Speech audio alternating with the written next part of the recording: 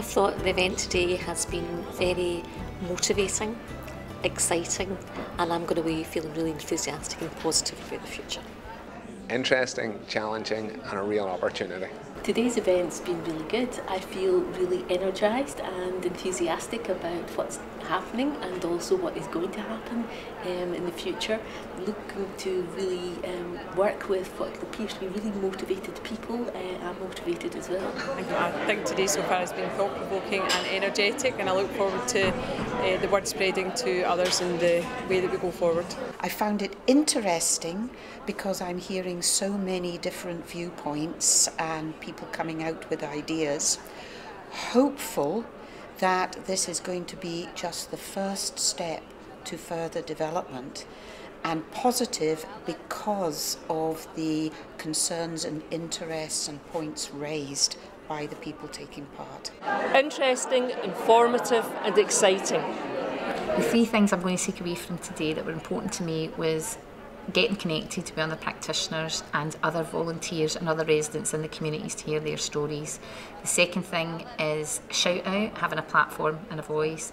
And the third thing is the enthusiasm and motivation of everybody in the room. Inspired, engaged, and inspired again.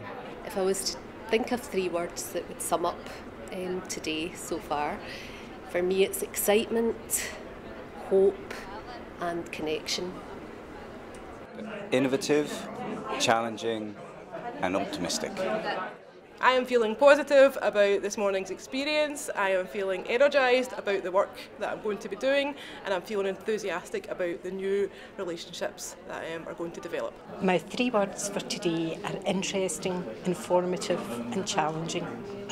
From today's event, um, I thought my first word is wonderful, rejuvenating, and certainly inspiring.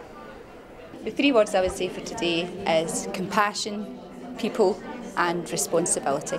The three things that really impress on me after these five days, I would have to say are energy, connection and the future. So for me, the energy is about, I've seen so many different kinds of energy. I've seen people come in and talk and bring different kinds of energy and interest, so absolutely captured that. The connection has been powerful been powerful between people, between people in different communities, for people who've never met each other before. So the connection, interconnection is just great. And for me, I guess the future is really important. So how can I corral all that energy, all that interest and connectiveness and make a really important and ambitious impact on the, the partnership and the health and social care in South Lanarkshire. So that future is future is bright, it's hopeful, it's ambitious.